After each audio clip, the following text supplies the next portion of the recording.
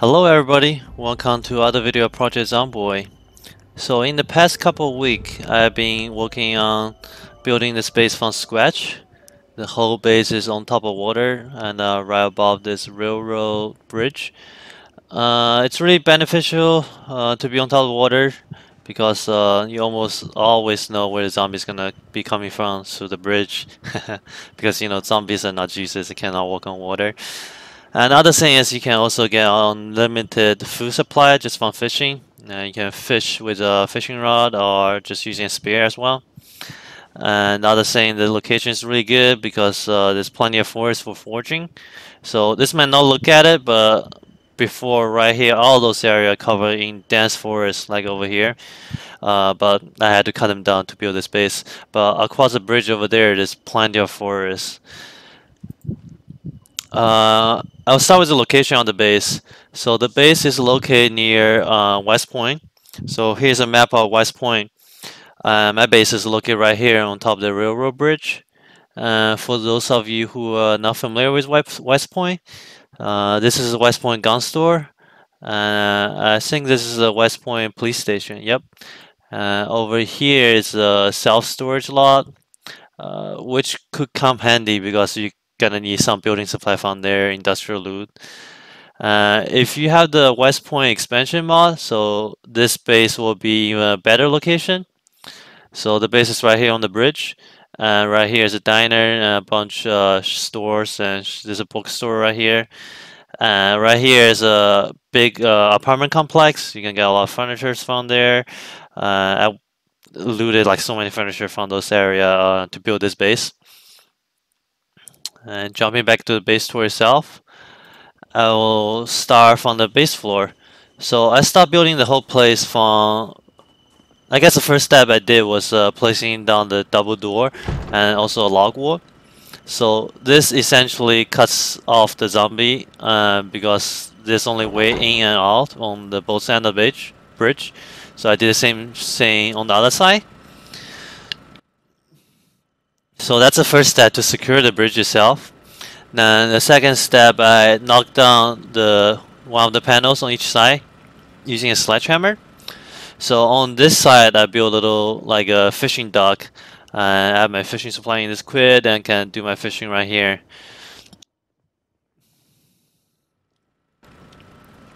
Uh, in the middle of the bridge, I use it more like a parking garage, but you can use it for storage or any way you like.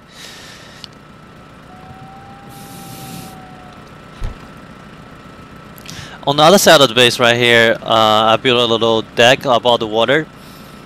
Uh, I was gonna use this area for outdoor farming, but I kinda messed up because when I built the second floor, the second floor is right on top of this area, but it just cuts off the rainwater.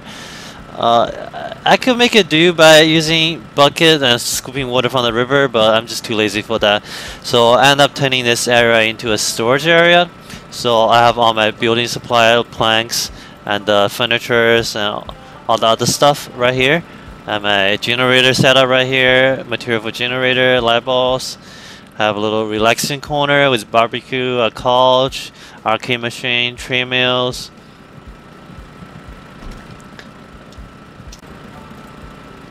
Oh, one thing you want to be careful when building those uh, deck on the water level. So whenever you place a wooden floor on the ground level, once you place on the wooden floor, it cannot be destroyed or replaced or picked up. So you want to be really careful. Plan out the area where you want to build first before you place it down anything. Because let's say if you place a tile right here and you cannot destroy it and it defeats the whole purpose. Shit, that gunshot scared me. It defeats the whole purpose of building on water because it'll be connected and zombie can just walk through here. So make sure your deck is away from the side of the line away from the line and make sure you plan before you build because once you place it on the floor on the ground level it cannot be destroyed. Now moving down moving up to the second level I have a staircase right here leads up to my second level which is my main base. Over here is my kitchen and uh, slash living room.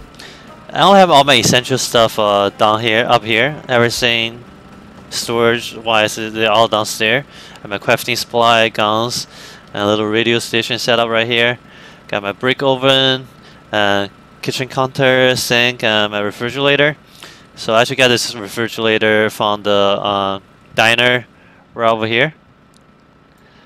So this is an industrial size refrigerator. It's pretty heavy. I think it's 40 unit weight, so I actually end up having to unload everything to carry this back. Uh, but you can always use the regular fridge. Uh, as for furniture, I got all this kitchen counter from the apartment complex that way. And uh, it's great because uh, they all, all, have a bunch of kitchen counter in there and they are the same color. You can also pick up sink uh, using a wrench.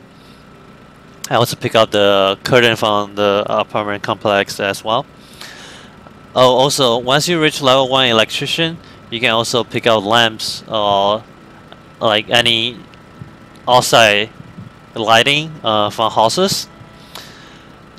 Uh, over here is my bedroom, I mean bathroom. So I have my toilet, uh, sink, little mirror and lighting. And over here, the bathroom is also connected to my bedroom and this is where I'll be sleeping. I have a little TV setup and also my wall lamp I pick up on some houses. I also have an escape road uh, set up across the base, so just in case of event, let's say my first floor get swarmed by zombie and I there's no way fighting back and only one door holding them back, I can make my escape through this escape route and also this one by the bathroom. Right here. Uh, as a last resort, I also built up this uh, emergency escape route. So pretty much it just uh, deck extend all the way above to the main road, main bridge.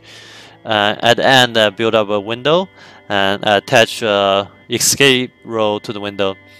So uh, basically, let's see if any zombie, any horde come by my base and breach through my first level defense. I can always escape this way because they're always going to be focusing in the railroad bridge. Uh, I'll be relatively safe on this way and I can make my escape either back to the base or to the other way.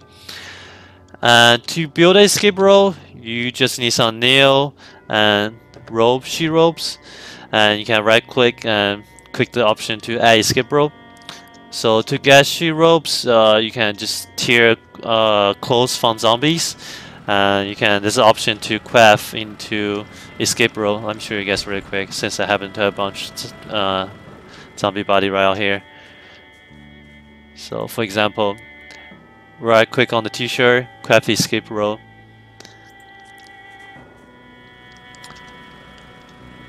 And go to the third floor. This is where my rooftop farming is. So uh, I fence all around just in case I I'm being clumsy and falls off the roof and die. That's the worst way to go. Happen way too often. And for those you don't know, uh, you can use a sack and shovel. Then you can pick up dirt and move them to on top of ro roof or like even indoor if you're willing to water them every day. Then you can place down the dirt and do your farming safely on top of the building. Uh, on this floor, on my roof, I also have my uh, lamp pole, light pole set up right here so I can see in the dark, just in case I want to do any farming in the dark. I have two water collection barrel over here, combo spin. So the two water collection barrel, they're hooked up to the sink in the kitchen and the sink in the bathroom. So you just need to put it on one floor above the sink you want to connect it to. Then if you have a wrench, you can do plumbing to connect them to the sink and the water barrel. And uh, oh, some of you guys might ask, how do I get the color of the wall printed? So because whenever you build a new wall, it's gonna look like the outside of my house, just brown wood color. So to paint your wall, first you need to plaster wall. So let me show you. What you need is uh, uh, empty bucket and a bag of plaster powder and paintbrush and also water source. So you need to fill the uh, fill the bucket with water, then keep the plaster powder and bucket and paintbrush in inventory in inventory.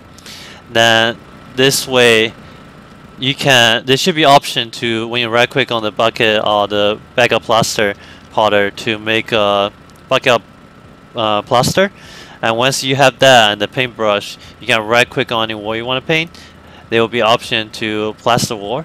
And once you done that, the wall will be in this color, this rice yellow color right here. And uh, then you can grab a paint bucket of the color of your choice and also a paintbrush. Then you can paint the whole house to any color you like. And the the bags of plastic powder is uh, kind of rare.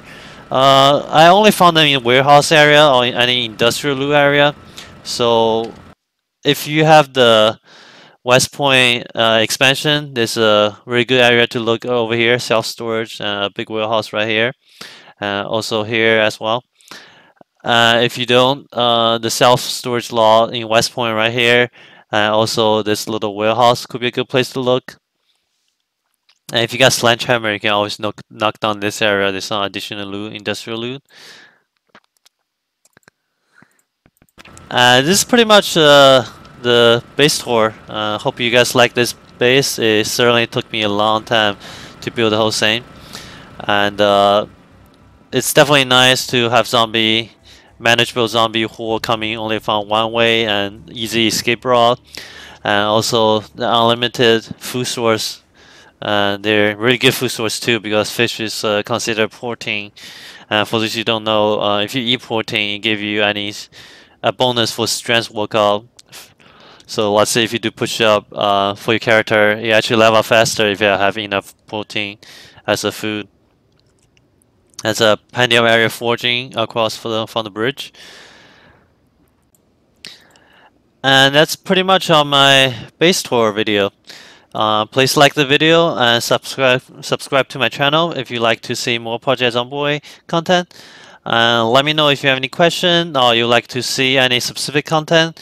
Uh, leave a comment. I'll make sure to take a look into it. Hope you enjoy the video. Thank you. Have a good one.